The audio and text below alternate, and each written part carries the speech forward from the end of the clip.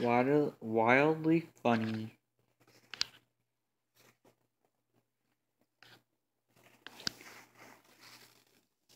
Hey, it's Rachel Green from Friends.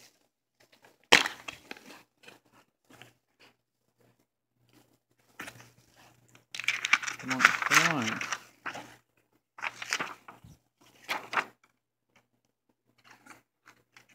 The movies I've heard of are Breakfast Club, 16 Candles, and Weird Science, but I've never watched these three movies.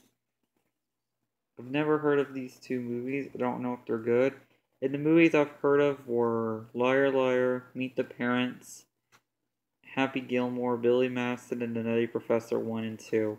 And I've never heard of these two.